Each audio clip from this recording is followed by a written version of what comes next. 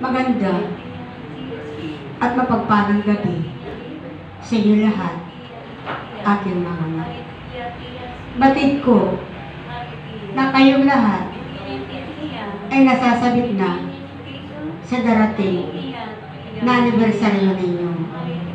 Kaya kayong lahat ay maghanda na sapagkat kayong lahat ay bibigyan ng Ama ng malaking sorpresa sa inyong mga buhay.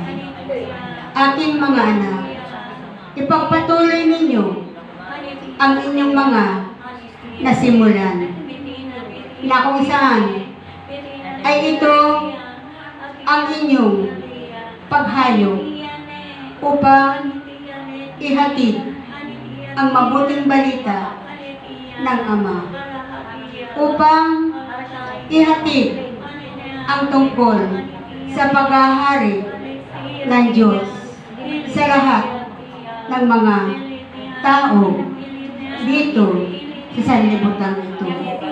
Kaya kayong lahat ay nais ko na kayo ay magpakapuspos.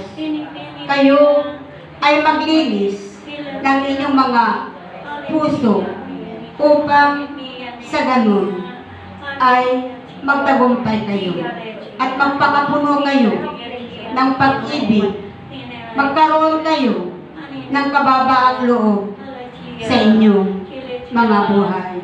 Sapagat ito ang tanda na kayo ay tunay na mga alagad ng Diyos. Aking mga anak, kayo nga ay tunay na pinagkakatiwalaan ng Diyos Amang makapangyarihan sa lahat. Kaya't kayo ay ipakita ninyo ang inyong katapatan sa Diyos, ng kataas-taasan sa Diyos na inyong pinaglilingkuran. Sapagkat ang Diyos ay tunay na tapat sa kanyang mga pangako. Pangako na kung saan kailanman ay hindi ito magbabago. Kaya't kayo lahat, aking mga anak, ihanda ninyo ang inyong mga sarili. Ihanda ninyo ang inyong mga isip, ang inyong mga puso't kalooban, sapagkat ang Ama ay laging nakatingin sa inyong mga puso't kalooban. Aking mga anak, kayo ay magpakatatag mga buhay. Kayo ay magpakatibay sapagkat sa inyong mga buhay ay dumarating ang mga pagsubok sa inyong mga buhay. Mararanasan ninyo ito sa inyong mga buhay.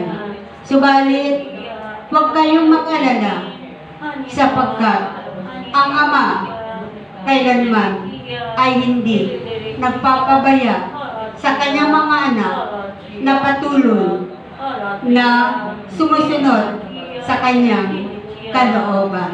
Mga anak na patuloy na nagiging tapat sa kanyang sa kanyang sa kanyang ama na kanyang pinaglilingkuran. Kaya aking mga anak, manatili kayo sa Diyos na inyong pinaglilingkuran.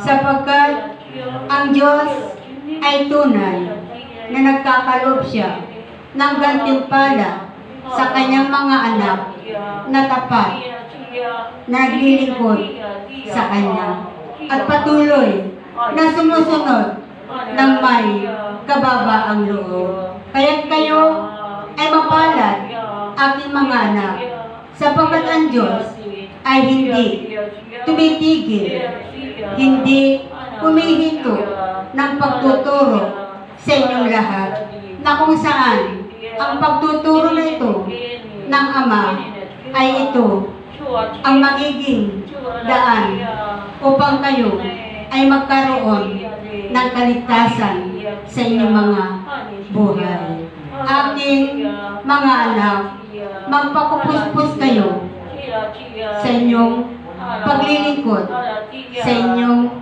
paghayo sapagkat ito ang inyong kailangan upang sa ganon ay hindi kayo makaranas ng mga pagsubok sa inyong mga buhay na kung saan ay ito ay pilit naaagawin ng masamang espiritu ang inyong mga isipan at kayo ay kanyang ililigaw. Kaya kayo, aking mga anak, ay maging matalino kayo sapagkat ang mga kalaban ninyo ay tunay na laging nakabantay sa inyong lahat. Bilang kayong mga lingkod ng Diyos na kanyang pinagkakatiwalaan, kayo ay patuloy na magpakapuno.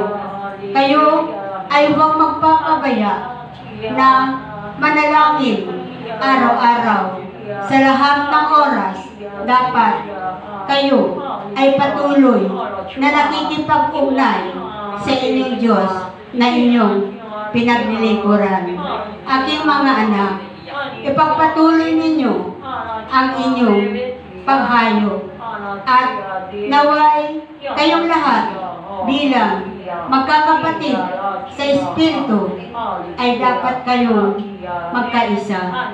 Dapat kayong magkabigkis-bigkis ng pag-ibig mula sa Diyos na inyong pinaglilingkuran. Aking mga anak, maraming salamat sa iyo. Ako ang inyong mahal na inang Berhen na patuloy na nagbibigay sa inyo ng mensahe para kayong lahat ay magkaroon ng kaligtasan. Higit sa lahat, ang inyong mga lugar ay patuloy akong nagbibigay sa inyo ng mensahe na kung saan ito ay dapat ninyong gawin. Dapat ninyong tugin sapagkat ang mensahe ito o ang babalang ito ay napakahalaga sa inyong lahat. Magpasalamat kayo sa Diyos na inyong pinaglilingkuran sapagkat patuloy niya kayong inililigtas.